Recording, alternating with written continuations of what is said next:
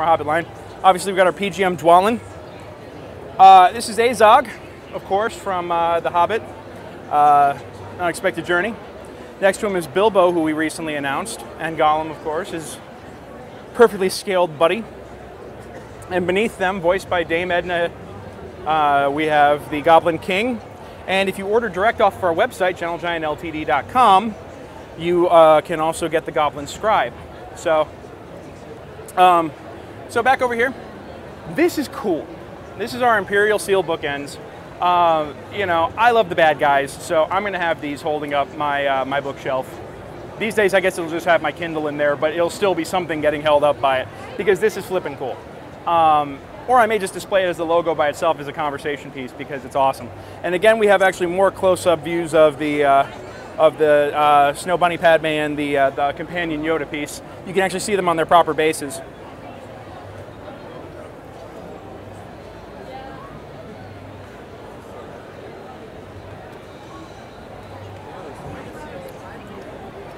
Uh, up in here, of course, this piece excites me so much. I mean, the only guy besides Ian McKellen to be in so many franchises that I wish I could be in myself is Samuel L. Jackson. And, uh, you know, we've got, of course, the Mace Windu bust with arms. With arms, that is something that people have requested for how long? I mean, Shane, you're on the forums. How long have people been asking for that piece? A long while. Absolutely. A very, very long while. So, you know, once once it came time, once we felt like the time was right for us to do the character again, of course, the first thing we want to do is give the collectors what they want. So that's why we did that. Uh, we've also got our holographic Vader, which I think this is an awesome piece. I mean, it just looks cool, and a lot of people are big into Vader. It's another it's another great way for us to bring this character back because we don't like bringing characters back in the same format unless we could do something unique or different with them. You know, because we're limited edition collectibles company, and the whole point of it being limited edition is that you're never going to see the same thing twice. So if we're going to cover another character again, we got to be doing something significantly different with it because this way it preserves the collectability of what's been come before. We don't want to go and undercut the market for the for.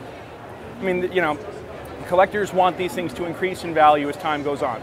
So we're not going to go back and re-release the same thing or an add-on for the same thing. You know, more of what's already been covered. We are going to um, make sure that when we re-release a character or revisit a character, it's in a new and different and exciting way that'll make people who are already fans want to buy again, but also preserve the value and integrity of what's come before. That's really important to us. Um, next to it, of course, we have our Grand Admiral Thrawn bust. This guy has been asked for for years and years and years, and when I saw, I mean, almost as much as the General Veers bust. That's how long people have been asking for a Thrawn. And when I saw that we were finally getting him out, I couldn't have been more excited because I knew how this was going to blow up. Um, and then, of course, we got our Darth Malgus mini bust. This is another hotly requested piece. This is one that collectors have been, you know, uh, once again, guys, we're listening to you. We hear you. You want a Darth Malgus bust? We're going to give you a Darth Mal Malgus bust. I mean, we you know, the EU.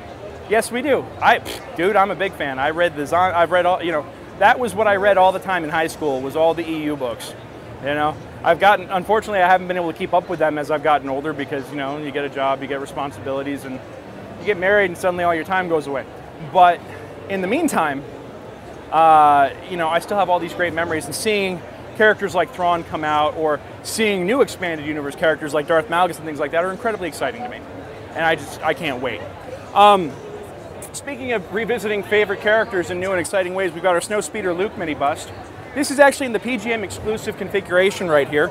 Uh, it, it's only in the PGM version, I believe, that you actually get the, uh, the version holding a lightsaber. Otherwise, it's either holding the grappling cannon or well, there's two there's two different ways you can get this. If once again, if you buy the uh, you buy the regular edition, you're getting two sets of interchangeable arms. If you buy the PGMs, PGMs get the option to buy the third set of arms that have the lightsaber included.